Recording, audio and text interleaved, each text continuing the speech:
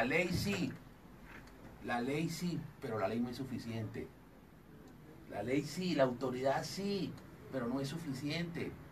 Aquí hay, el gran reto es, como usted lo mencionó, es un tema moral. Mire, la enfermedad de Colombia es moral. Es lo mismo que pasa, la corrupción, para combatir la corrupción, sí, todo lo que quieran, modifiquen leyes, modifiquen constituciones, a la cárcel, quítenle la plata, inhabilitenlos, hagan lo que quieran, pero eso ni siquiera toca con el pétalo de una flor la corrupción, porque el tema de Colombia es de carácter moral. 7, 15 minutos.